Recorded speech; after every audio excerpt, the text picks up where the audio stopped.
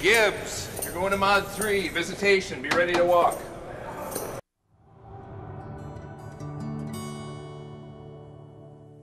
Look, the fact is, your brother was here. He was asking about your father. He was just checking on his status. You are in charge here. My responsibility is to your father and to his rights. I am in charge of his rights.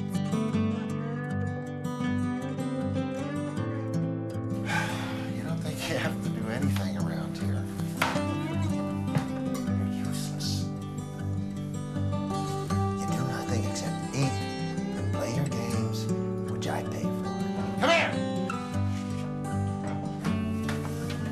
Get over here.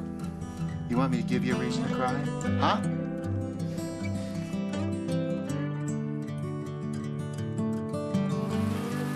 I want you to promise me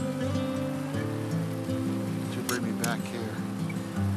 I can't take care of myself. Do you hear me?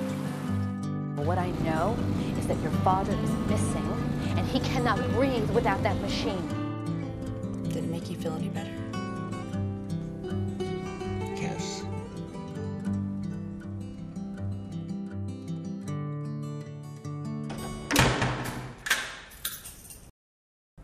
Do you forgive him?